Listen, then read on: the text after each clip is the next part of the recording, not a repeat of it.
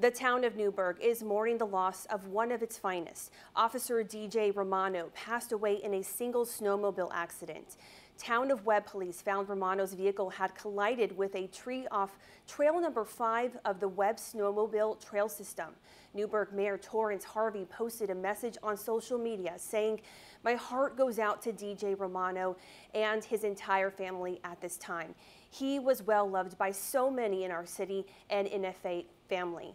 Orange County Executive Steve Neuhaus also sending his condolences, calling Romano a true Newburgh guy.